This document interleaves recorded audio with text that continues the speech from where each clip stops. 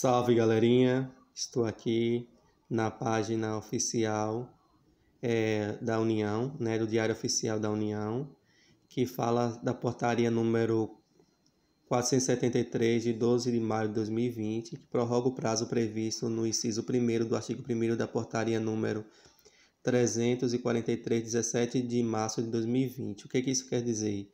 Que fica prorrogado por mais 30 dias o prazo previsto nesse artigo, né, que eu já falei, e fazendo referência à portaria 343.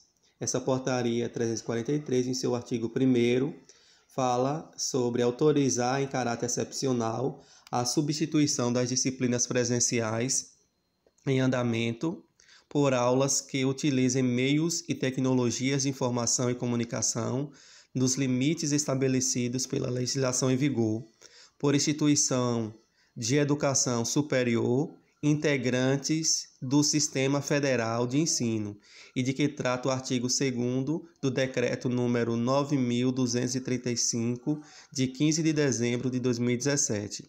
O inciso 1 diz que o período de autorização de que se trata esse artigo é de 30 de até 30 dias, prorrogáveis a depender da orientação do Ministério da Saúde e dos órgãos de saúde estaduais, municipais e distrital. Então, com visto né, a essa portaria, fica prorrogado por mais 30 dias a, o ensino né, que dispõe sobre a, substituição das aulas presenciais por aulas em meios digitais enquanto durar a situação de pandemia do novo coronavírus, o Covid-19. Espero que vocês tenham gostado. Se gostou, deixe seu like, compartilhe, se inscreva no canal e ative as notificações. Um abraço e até a próxima.